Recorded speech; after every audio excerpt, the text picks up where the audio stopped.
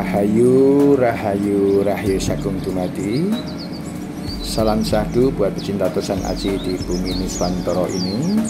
Selamat, selamat, selamat tanpa basa-basi. Kita kali ini sinau bareng Kita melihat keris putut sajen jimatan. Ini merupakan keris putut sajen yang langka kita lihat dari hasil motifnya. Betul sajen temuan. Ini setelah hampir dua bulan mutih kondisinya seperti ini. Kita amati bagaimana bilahnya. Kondisi bilahnya seperti ini setelah mutih sahdu sekali. Untuk cacingnya pusaka ini adalah pusaka temuan juga. Pusaka yang sangat sahdu kecil mungil. Ini jenis pusaka jimatan pusaka itu sajen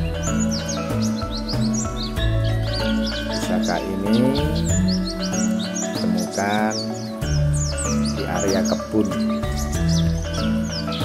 Pusaka ini temuan darat.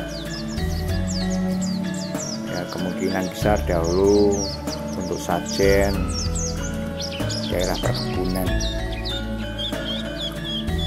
Pusaka yang sangat sahdu sekali kecil mungil tapi elegan pusaka ini saya buatkan warangka. Nah, ini nanti akan diwarangi. Setelah diwarangi kita bisa saksikan bagaimana materialnya. Ini material aslinya setelah mute. Nanti diwarangi. Untuk mewarangi kebetulan tidak saya liput. Soalnya baru banyak pekerjaan sehingga tidak sempat untuk syuting saat mewarangi. Pusaka ini secara tuahnya luar biasa. Energinya begitu besar walaupun kecil mungil kutut sajen jenis seperti ini termasuk jenis jimatan jenis jimatan merupakan pusaka kutut sajen yang sangat langka. Kita akan saksikan bagaimana setelah diwarangi. Nah, ini saya buatkan warangka. Biar bisa menutupi bilahnya. Pusaka putih sajen kecil mungil dan langka. Dengan memiliki pusaka seperti ini bisa dibawa ke mana pergi masukkan kantong. Karena sangat kecil sekali kecil tapi sepuh banget. Nah ini yang sangat sahdunya di sini. Kecil tapi sepuh. Kita akan buka ini sudah diwarangi bagaimana materialnya?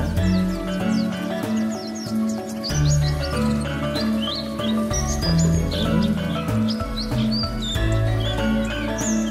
Nyemen atau hijau meletong. Nah ini yang sangat sahdu di sini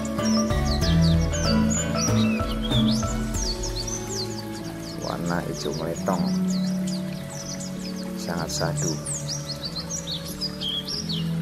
Materialnya ini kalau mungkin keris-keris era sekarang di terkubur hitungan tahun sudah hancur ini terkubur ratusan tahun.